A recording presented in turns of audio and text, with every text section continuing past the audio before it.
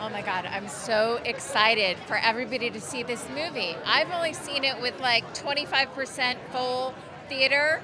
So to see it with a full 100% full theater, not only like a normal 300 but a 1200 seater, I can't wait. It's very unique. It's very funny. It's and I think people are going to be surprised at how emotional and heartfelt it is. You know, I will say Nick Cage is a consummate professional and unbelievable. I mean, can you guys imagine doing a movie that's like a heightened version of yourself? Like I can't even I would hate every second of of it all day long and that guy came in every day giving it 100% and Pedro is a movie star. He's the sweetest person alive. I would do every picture with him until I die. I love him. Yes, great cast, great crew. We shot during the second wave of the pandemic, and like there was something horrible about it and something incredibly bonding about it.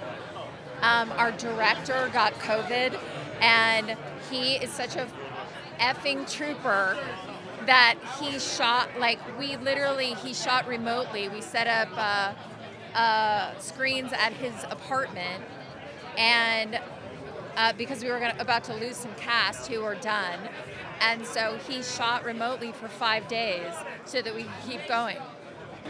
Everyone's reuniting. I mean, we we haven't seen each other without masks. We're like, oh, is that what you look like? I mean, the actors, yes, but everyone else. And so, like, we're all going to get to celebrate tonight and see it together with a theater with a bunch of people who've never seen it. And I think everybody's going to be really overwhelmed with joy. It's so fun. I love them so much.